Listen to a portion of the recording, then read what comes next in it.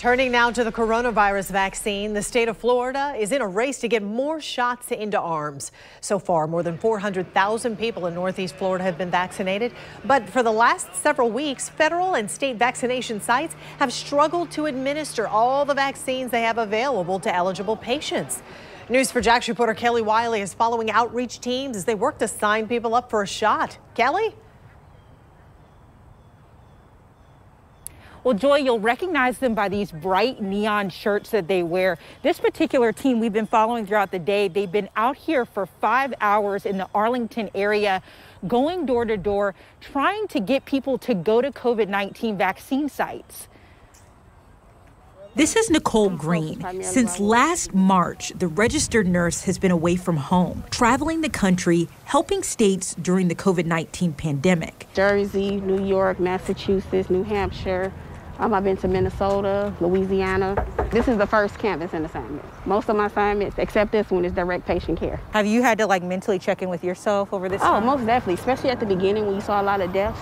It, that's that'll take a toll on you, but you have to remember what you're here for. Today, she and her team are knocking on doors in the Arlington neighborhood, registering people for a COVID 19 shot. The goal is to get as many as we can. By noon, outreach teams knocked on 67 doors. Some of the people they spoke with didn't speak English. A barrier, they say, to having a conversation around vaccine hesitation. Of the people they spoke to, some had already gotten their shot. Already been. Others, like this woman who's already had COVID twice, had no interest. So you haven't been vaccinated then? No, ma'am, I haven't. And you don't want to be? I don't want to be.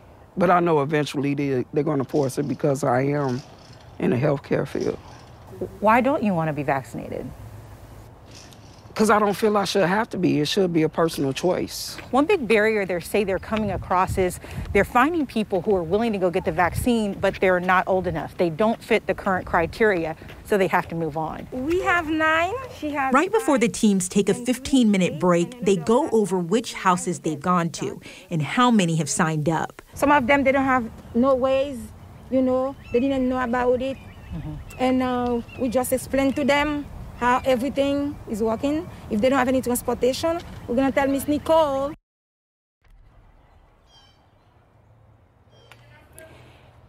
And this team, they've just started going into this apartment complex. You can see them breaking up and starting to knock on doors.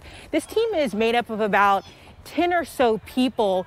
And uh, this is a, a lot of work, a lot of door knocking, a lot of people who don't answer the door. Some people say they've already gotten it.